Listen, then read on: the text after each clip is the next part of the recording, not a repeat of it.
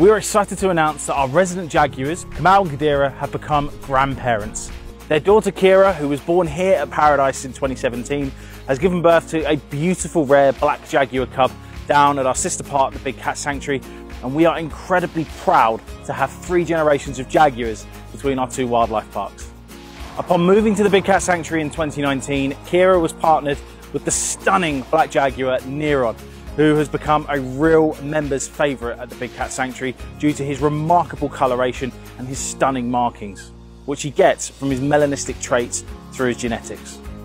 The love that Kira and Neron have for each other has been clear from day one, as they are constantly showing affection towards each other, grooming each other, and just generally loving life with each other in their habitat down at the Big Cat Sanctuary. And you can really see that just through the online images and videos that we've been able to capture of them as well. The team at the Big Cat Sanctuary could tell just through the way that Kira had started to behave towards the end of March that there was the potential for a baby to be born. And sure enough, on the 6th of April, Kira did indeed give birth to the stunning Black Jaguar cub. And from day one, it's been clear that we have a feisty, yet adorable little girl on our hands. We can confirm it is a girl. It's absolutely wonderful news.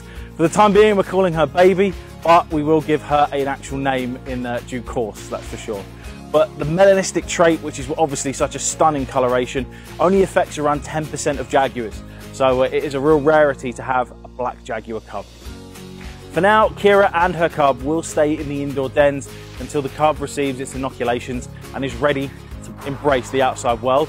In the meantime, Kamau and Qadira are also down at the Big Cat Sanctuary, so they have all three generations of our Jaguar family down there because, hopefully you can see a little bit behind me, a sneak peek anyway, our new Jaguar habitat is currently being rebuilt ahead of Kamau and Qadira's return. Jaguars are one of the most iconic animals that we have between both of the parks and they are a near threatened species. This is sadly because the Amazon rainforest is under severe threat due to deforestation and poaching as well. So uh, the fact that good zoos and international breeding programs exist to help with regards to education, breeding, welfare and also scientific research ensure that jaguars do have hope for the future.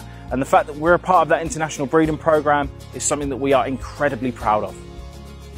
To see more of the beautiful black cub, then please head over to the Big Cat Sanctuary's social media pages where our team have provided some fantastic videos and photos of her. And of course, get excited to welcome Kamau and Qadira the Jaguars back to paradise later on this year when Jaguar Jungle is completed.